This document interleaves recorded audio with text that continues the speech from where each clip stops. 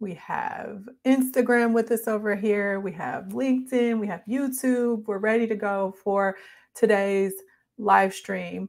Um, let me pull up what we're going to be talking about today so that I don't forget to tell you any of the juicy details because this is another big one. Today, we are going to be talking about the top reason that you struggle in leadership. And you're probably going to think it has to do with maybe time management or organizational skills or your team or your leadership or staffing or all of the other things that you really don't have any control over. But the thing is, the number one reason why you struggle with leadership is due to your mindset. Failure to approach the work that you do with a good mindset is a guaranteed marker that you will hardly ever achieve long term success. And if you do, what you're going to find is that things that could be a little bit easier in your career progression could be much more easy. um, good leaders can develop crappy mindsets at any time. So I also want you to recognize that you could be a good leader and going through a circumstance or a situation or just be in a season of life and career where you just may have a crappy mindset. And uh, it's not something that you usually notice, it's something that slowly and insidiously creeps in on your leadership style. So for today's episode, I wanted to take a deeper look into how poor mindset can um, be the top, it is actually the top reason that you struggle with leadership. Again, we've only been, this is day five of our live streams. For those of you that are not familiar with me, I'm Yashica. I'm the founder and CEO of the Lind Group, where um, for me, my personal mission is to help leaders lead with impact and do it in a way that's less stressful. But I have a team behind me, and we also not only help healthcare organizations with leadership development, but we also help them uh, by lending our expertise to help them um, deliver their uh, healthcare in a more optimal way. So that is what I do, just very briefly. So let's get into the topic because whether you think it matters or um, not, or whether you're a new leader or you're the owner of your own enterprise, be it a chiropractor, dentist, what have you, your mindset has the majority of weight on the outcomes that you experience in your day to day life. So, of course, not only just professionally, like we talk about here, but this also has to do with your personal life. And you don't need a great mindset just for yourself. It helps for you to show up for yourself and be in an optimal mindset. But as a leader, you also have an influence on your team's outcomes. And more importantly, you have influence over the outcomes that your patients or your clients may experience as well. So, what I want to do is break down some common piss poor mindset habits in an effort to help you gain some more self awareness of if you have any of these problems. For some of you, because you also have this sort of mindset in your personal life and you have grown up with people that have this similar mindset to what you have, you may not even know that some of the things that you are bringing into your professional life and your personal life are piss poor habits that are going to impact your success in a negative way. So, the first thing is seeing the glass half empty. And we all know that there are certain instances where we may lean a little bit negative in our life. However, what I tend to see when I'm working with leaders is not that they think or are aware that they're being downright negative, they think that they have to point out the bad all the time. Maybe it's the bad in every initiative or every creative idea that comes up, or they try to point out the bad because they think that that's the what motivates people to do better or to improve. And you have to understand that when you are impact uh, when you are injecting negativity even if you think that you aren't and you know by learning some of these things you'll know a little bit better if you are. If you are doing these things you are impacting the success of your team members and the success of the projects that are going on in your organization and nothing nothing nothing will slow your progress like a negative mindset Number two is assuming that you know people better than you do, especially if you eh, you know, as you go through these lessons that I'm doing over the course of the 21 days, and what you're finding is that a lot of these things you didn't learn, you probably have made the mistake of thinking that you know your team, you know people better than you do, you label them, you put them in a box, and you haven't really had to, the chance to get to know the members of your team in a more um, intimate but appropriate way right? Or know the the peers that you work with on an appropriate way. Because people are very complex.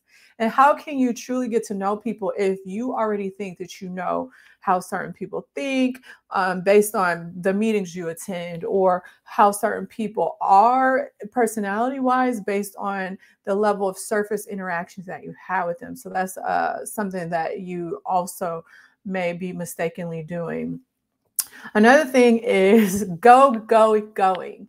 And I find that when leaders think that they constantly need to take on a whole bunch of stuff, it's not because they want to do all the stuff. They usually start to get tired, burnt out, and have resentment. So let's think about the mindset of you, you, if you're a person that thinks that you have to continue to take things on all the time, knowing that you probably need time off. you may um i think that that stems from a level of insecurity and for all of us it's going to be different insecurity of not doing enough insecurity of losing your job insecurity of needing to feel like you have to prove yourself all of the things but um if you feel like you need to be on all the time you have to understand and you probably will find out sooner or later that it's impossible to be going 24 7 and still be the best leader that you can be so that is harmful. That is a harmful mindset, even though you may feel that you're being productive and you're being helpful. Uh, perfectionism. This can go along with what we talked about yesterday around how poor decisions cost you your job. Sometimes perfectionism is our goal as leaders, even though that's unattainable. It doesn't exist. It should never be your goal. And when you're trying to um, aim to be perfect, make the right decisions, never make a mistake, never go outside the box, do things the safe way, um, never get in trouble. You ultimately are either you ultimately are setting yourself up for failure. Um, and that failure could be around the inaction that we talked about yesterday, but it also could just be because you're setting this unattainable standard for yourself, which can be exhausting and it can be demoralizing as well. Let's see what else I have for you. Um, isolation, and again, we did talk about this yesterday. That and a couple of our sessions touched on this topic of us needing to understand that we are not leading on an island, but yet some of us believe that leadership means that you don't need to be among the people. You don't need to get to know your peers in your organization. It means that you're trying to keep your head down and do the job to your best of your ability. And if you are a leader that doesn't want to get help, doesn't want to interact and form relationship with others, I feel like that's one of the most dangerous things that you can do in your leadership because part of being a leader, you can't be a leader if you are just in your own little bubble, closing yourself off in your office, trying to get through the day when leadership is particularly about connecting, engaging, networking, empowering. And you can't do that if you're not interacting with other people within your team and within your organization. Um, let's see. Uh, let's do one more. I have a, a, there's a bunch of things that I could talk about. Ha- have you know having to do with your mindset and why it gets you in trouble. But here's another one. And if you want even more information about leadership, about mindset, and, and, tips and tools. I did a podcast episode about this, and the podcast is primarily about this. So check out the Leading in Healthcare podcast if you want more tips. But for our last tip for the day, it's believing that you have to do everything yourself. And I think that that goes hand in hand with um, thinking that you have to be on all the time. You probably became a leader because you were really good at what you did and you have the potential you got to check it though you have the potential to be good at what it is that you do now but the truth is you're not supposed to be doing it all as a leader. You are supposed to be in this position where you are inspiring and pulling strings for other people to collaborate and to help work toward a mission. So, great leaders not only are not doing all the work themselves, but they are very comfortable delegating, which not only helps you, but it helps your team feel empowered and it involves them in the work. So if you want things done your way, if that's what your fear is, then you could teach other people what your standards are within reason, no micromanaging. But bottom line is if you think you have to do everything yourself, that's a harmful mindset. It's going to catch up with you and it's probably um uh, it's a good reason why I end up working with leaders and, and, they complain about being overwhelmed is because they think they have to do everything themselves. So I've given you some kind of clues you could start to look at for more self-awareness, self-reflection about your mindset and and how you approach the work that you do and why if you have some of these traits, you probably are approaching your leadership with a sub optimal attitude. So let's just talk briefly about one thing that you can start to put into action right now to help you to turn this around.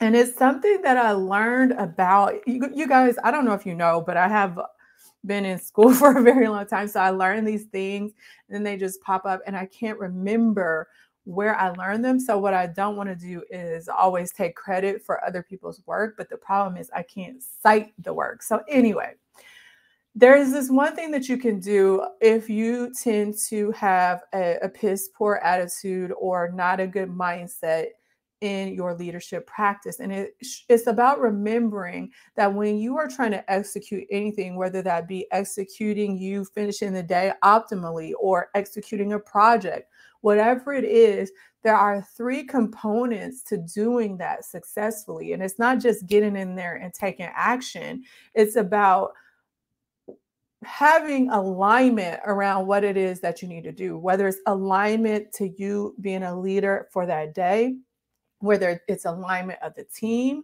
whether it's alignment around the project, and if it aligns with the goals that you are trying to uh, achieve to help your organization or your company or whatever. So you need to have alignment, you need to have mindset, and you need to have the capabilities. And if you don't have all three, then you need to come back to the drawing board. Now, a lot of the time, um, alignment is the understanding of um, a lot of times we have an understanding of where as an organization we're going because depending on the level of leadership you're at you're either working with other leaders to create the vision for the year for the quarter for the organization for your company whatever. But if you um, are not as high up the the information gets pushed down on you, down to you, not on you, could feel on you, um, usually by way of a packet or a yearly leadership meeting, what have you. So you have to understand not just what you want to occur in your company, but also where your company or is going and if what is going on is in alignment with that. So number one is alignment. Have a very clear vision of where you're going but I, I want to break it down just to your personal practice as a leader. Have a very clear vision of who you are as a leader, how you want your days to go, how you want your team to feel, what is important to you, what's important to your team. Like that's where you can start because that's what you have control over. So, alignment. Second thing is the mindset. So you can be completely aligned, right? You you know who you are, you know who you want to be, you know what things want to look like, you know where your organization is headed, and you can know the five year plan, the one year plan, the quarterly goals, all of that. However, if you don't believe in it, if you don't believe in yourself, if you can't get your team to believe in it, the mindset piece, then it's not going to work out. You have to be aligned and you have to believe in yourself. You have to believe in your abilities. You have to believe in your team. You have to believe in your organization in order to make things move optimally. And then the last thing that I talked about was that you also have to have the skills and the tools to get there. We oftentimes, when we uh, work on projects, the two things that I see people do is look at is this in alignment what we want to get done for today? Yeah. do we have the skills and do we have the capability? Or if not, let's get the right people in the room. Boom. But what we don't check is the mindset. So whenever you are approaching your day, a project, your team, an initiative, I want you to always ask yourself, you can even do this in your personal life. Is everything aligned? Is the mindset there?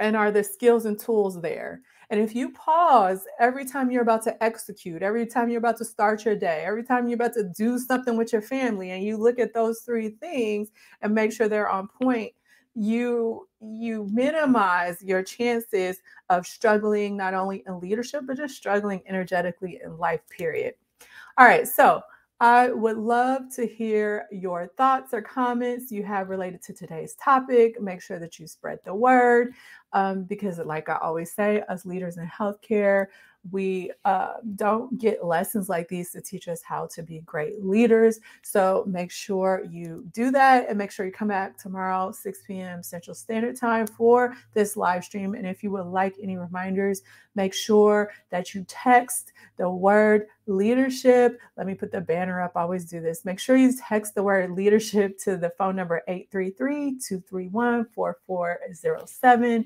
to get reminders for the live stream. Last thing, tomorrow's topic should be very interesting. They all are very interesting. I hope you're seeing a trend of me giving you information that nobody is sharing with you about how you could be a better leader. But tomorrow's topic, your stress is killing you fast. And I didn't say slowly, killing you slowly. Your stress is killing you fast. So tune in tomorrow for more for a deeper dive on stress and how it is actually killing you fast. All right. Take care, everybody. Bye.